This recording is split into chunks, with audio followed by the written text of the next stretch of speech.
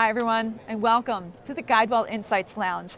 This is Kate Warnock coming to you from day two of the Synapse Summit here in Tampa.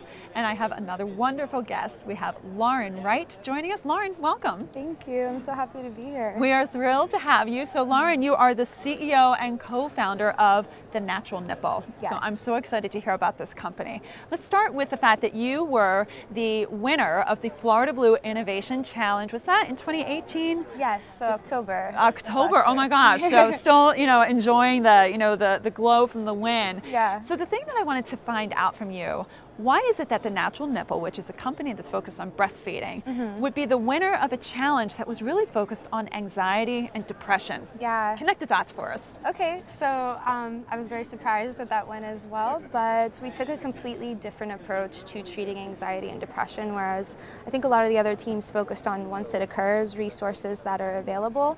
We were opened up by saying, what if you could prevent anxiety and depression in your infant from the day they were born? And I just delved into the data about how breastfeeding for at least six months um, statistically really does reduce anxiety and depression, not only in the infant, developmentally moving forward into adolescence, but also for the mother. So postpartum depression is a huge issue, especially complicated by women when they start having latching issues. Right. And so I just give a clinical case um, of one of my patients, collectively a lot of my patients, it's their story, and just how much they struggle through postpartum depression and how much they relayed to me if I had a product that helped reduce my latching issues, how much that would have helped my husband, my mother, my baby, and and me. Right. So, um, hence the natural nipple. wow. Wow. All right. So explain what that is. Let's let's let our audience know what it is. Okay, so the natural nipple is a, a baby bottle and nipple that's designed after maternal shape and flow rate. So why it's novel is a mom can actually pick from one of four shapes that's more similar to her own. And then the flow rate is a huge issue. So um, we actually have a subscription model where from preterm birth all the way up to two years of breastfeeding, every two months we're gonna send you an updated flow rate in your shape that actually benchmarks maternal lactation average at that time. So there's zero discontinuity between bottle and breast. You can leave your infant and be assured that you're not going to have trouble getting them to latch back on after. That's really fantastic. You know, I was talking with Dave Pizzo, and, and he was certainly involved with the Florida Blue Innovation Challenge, and he said the education that you provided the entire judging panel, who happened to all be men, um, he said it was it was just unbelievable um, to see the information that you. He said she clearly did her research, but it was the story that you shared.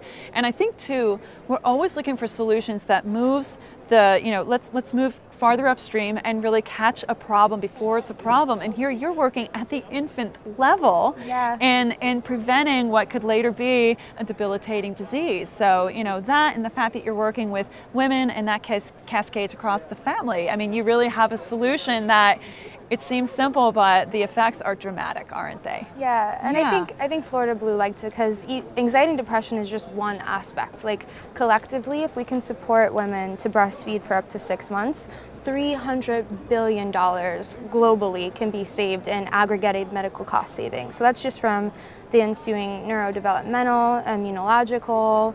Um, you have autoimmune diseases that are reduced in both the mother and in the infant. So it's really also economically it's great for the environment. Like you're reducing Right. so much of Right. the formula containers that are being thrown into landfills by helping moms pump longer. Right. So it really hit that triple bottom line, and um, also in the customer discovery process, found out how much we can save hospitals. So um, just by helping prevent free flow drip rate and not flooding those preterm infants with milk that's too fast, we can save them three thousand dollars per infant per day. So there was Yeah. 3000 per infant per day so that's like after you're they're like having to stay in the hospital longer and increase the consult cost, increase the length of stay because it's looking as if they can't the baby can't feed independently. Right, right. However, really it's just that milk is coming out too fast in the bottle. So And the typical size of, of a NICU, how many infants are they taking care of at any one time? Do you know that statistic? um, I know here at TGH it's at least like 50 to 60. So oh my gosh. Yeah. Wow. All right. Mind blowing. All right, let's let's pivot a little bit, Lauren. You know, here you are. You're an, an, a nurse PhD student. Um, you have one more year until you graduate. Yes. Oh, so exciting. you know, obviously, women's health is something that's so important. Yet it doesn't necessarily get the same degree of attention Yeah. from funders, from companies, that sort of thing. How is it that you're working to kind of change that field, or what kind of alliances would be beneficial to help women's health really move forward into the mainstream? I think just getting women angel investors' attention because it is something I was very surprised from a panel of male judges to be able to capture the the audience and, Yeah. and like bring the problem up to their attention. Um, but I think it's so important because this is affecting the workplace. Like if we actually can't support women through the process of breastfeeding, um, it's going to impact the quality of work when they're returning after three months of maternity leave.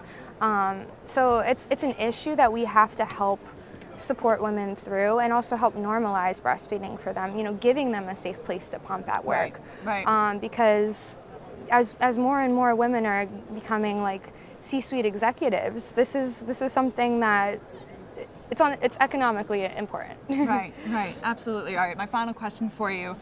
Women innovator, here you are. Your co founder is also a woman. What advice do you have for women that are really looking to start out? Is there a lesson learned that you would like to help someone get maybe farther along, uh, you know, into an innovation success story than what, like you have?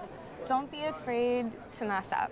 Don't be afraid to pivot um, and fall flat on your face because it's those mistakes that early on will help you get to your success faster. I think it was like the process of doing customer discovery and being embarrassed enough to ask moms like, okay, like what is what is a nipple shield? I don't know that, you know, and, and not feeling afraid because, okay, I'm a clinician, I should know this already, but just getting out there and asking the questions of what's actually paining the population um, that you want to target and create a solution for. Right. Um, and surrounding yourself with people that support you, I think, is, is huge, even while you're falling. Absolutely. Well, Lauren, obviously, I think we're going to hear a lot more from you and your company. I'm so excited that you're both the winner of the Florida Blue Innovation Challenge and here with us today in the Guidewell Insights Lounge. Thank you so much for your time. Thank you, Kate. All right, it was a pleasure having you. This is Kate Warnock. Thanks for watching. Thanks.